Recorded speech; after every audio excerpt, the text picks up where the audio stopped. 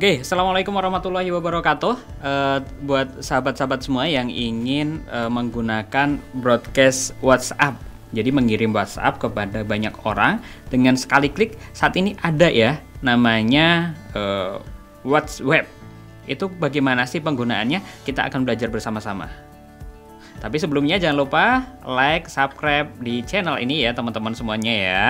Oke, kita langsung mulai uh, kita harus membuka menggunakan Chrome ya. Teman-teman sebelumnya memang kita harus menginstal aplikasi ya. Dan aplikasi ini linknya saya taruh di uh, webnya Silaturahim Islamic School. Di sini ada judulnya aplikasi broadcast WhatsApp gratis nih. Nah, di sini juga ada panduannya nih teman-teman nih. Kalau teman-teman membaca di panduan bisa, tapi kalau mau langsung mengikuti live uh, kita bisa terus lewat YouTube ini.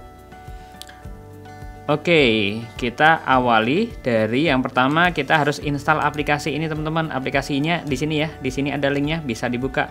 Klik. Uh, namanya WhatsApp atau Sandblock WhatsApp Message. Uh, kalau ini di punya saya tinggal hapus karena sudah terinstall. Tapi buat teman-teman yang belum install, ini tinggal dipasang atau diinstal di masing-masing ya. Oke, di sini. Oke, setelah ini diinstal selesai, tahap yang kedua adalah membuka web WhatsApp. Hmm, kita buka web WhatsApp. Oke, alhamdulillah. Oke, uh, teman-teman, kita sudah masuk di web uh, web WhatsApp kita ya.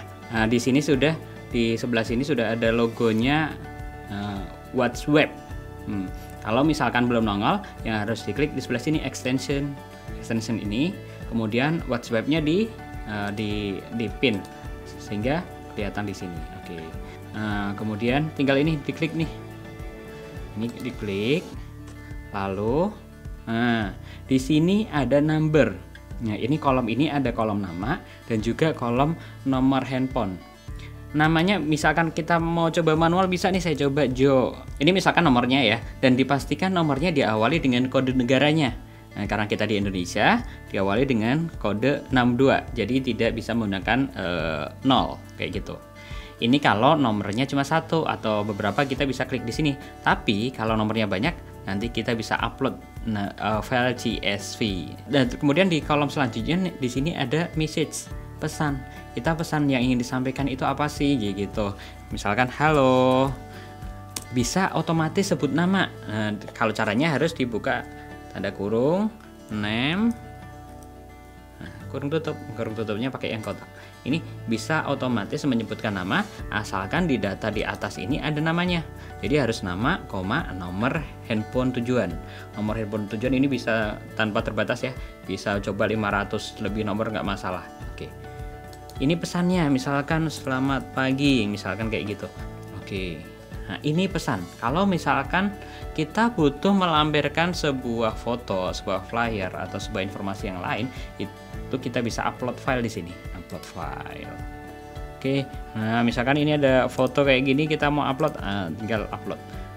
Setelah ini muncul di sini, kita juga bisa e, memberikan caption di bawah foto ini langsung ya.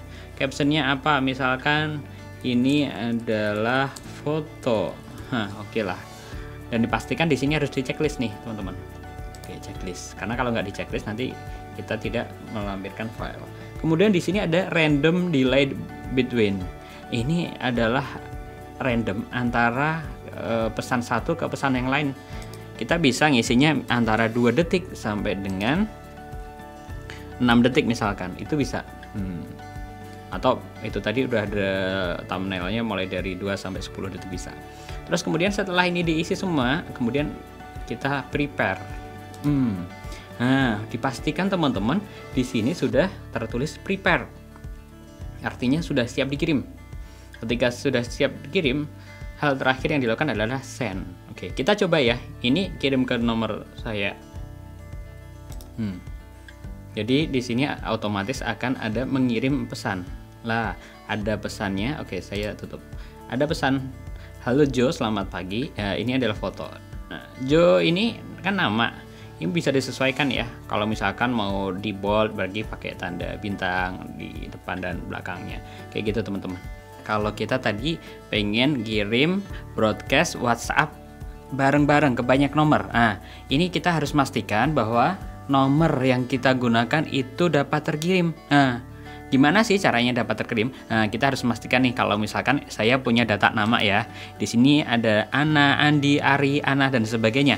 Oke, ini ada nomor handphonenya. Ini nomor handphone uh, asal-asalan, nomor WhatsApp asal-asalan. Tapi saya coba karena kita harus memastikan nomor yang digunakan itu menggunakan kode negara. Lah, ini kalau ini untung hanya beberapa nomor saja. Kalau banyak gimana sih caranya merubah dari 0 menjadi 62? Nah, kita akan belajar nih. Oke ya, teman-teman, kalau pakai rumusnya Excel, di sini kita bisa pakai right. Nah, yang ini kemudian berapa digit yang kita ambil dari sebelah kanan? 11 karena rata-rata nomor handphone di Indonesia itu 12 digit. Nah maka kita ambil yang 11 nomor dari sebelah kanan. Tapi kan kenyataannya, teman-teman di sini ada yang hanya 11 digit, bahkan 10 digit atau bahkan ada yang 13 digit ada. Nah, ini.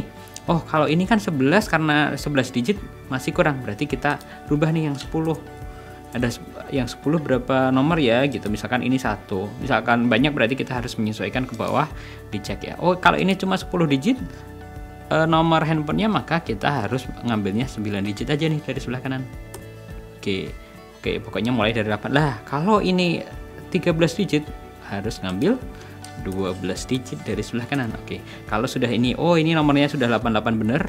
Oh ini ada yang salah nih. Oh ini ternyata nomornya bukan 08 nih 05 saya rubah aja ya. Oke anggap aja begini. Kalau nomornya sudah diawali dari angka 88 berarti oke udah bener. Langkah selanjutnya adalah memberikan kode negara. Kode negara kita adalah 62 hmm, oke. 62 kita hmm, 62 semua. Langkah selanjutnya. Kita gabungkan ya. Pakai rumus koncatenate. Koncatenate 62 koma. Ini ada yang pakai koma tergantung komputernya. Ada yang pakai koma ada yang pakai titik koma. Hmm, kalau punya saya ini pakai koma. Terus nomornya. Ini sudah 62 dan nomor handphone. Oke kalau sudah kayak gini saya copy ganti di sini ya. Oke jadi di sini sudah ini. Dan ini nggak kepake lagi kita hapus. Oke, dan untuk masuk ke CSV eh, judul judul masing-masing kolom ini nggak perlu ya. Jadi kita bisa hapus.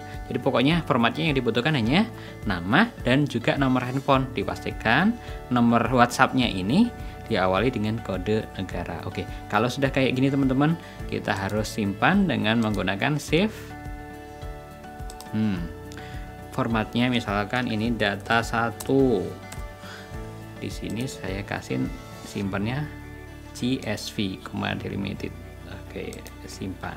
Oke ya. Setelah disimpan sini teman-teman, kita bisa menerapkan di sini ya, kayak ulang tadi. Nah, di sini kita bisa pakai upload CSV. Nah, tadi disimpan di mana? Nah, data satu nih. Oke, otomatis nih teman-teman. Bayangkan kita bisa mengirim sekaligus nomor WhatsApp ya bisa 500 ribu bahkan gitu kan. Nah, dicoba aja teman-teman. Oke, kayak gini ya. Jadi kalau sudah kayak gini, uh, ini pesan yang kayak video yang tadi yang sudah dijelaskan. Jadi ini adalah teknik untuk mengirimkan ke banyak nomor.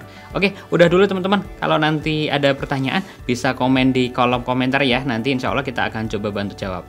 Jangan lupa like, subscribe, dan juga share video ini ya. Oke, makasih. Assalamualaikum.